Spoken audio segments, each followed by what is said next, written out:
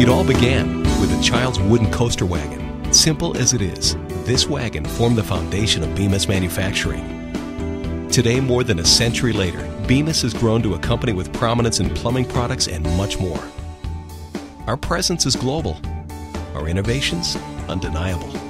And our success? Well, that's evident in a host of industries worldwide. Yet one thing remains the cornerstone of Bemis manufacturing the humble wooden coaster wagon and the innovation from which it came.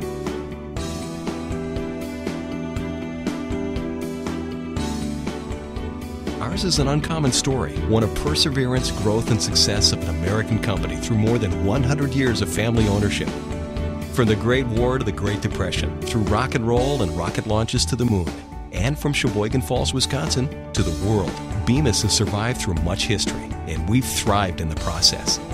We invite you to be seated by Bemis and to enjoy the benefits of products manufactured by a family owned firm that is proud to be well seated in our second century of business.